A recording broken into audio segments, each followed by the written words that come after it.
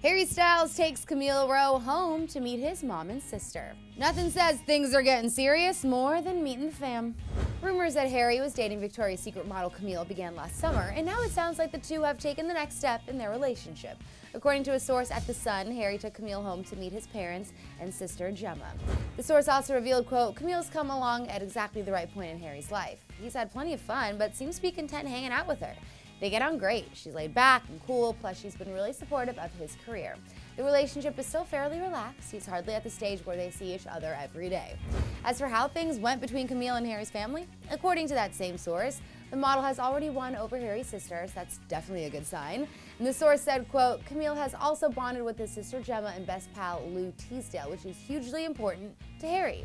Another indication that things did go well during the parents' visit is that Harry and Camille reportedly spent New Year's Eve together in LA.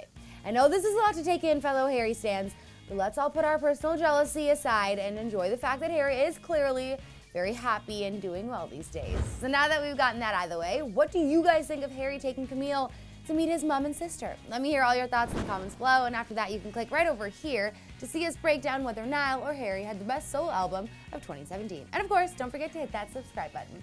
Thanks so much for watching Clevver's newsfeed. I'm Sinead De Vries, and I'll see you guys next time.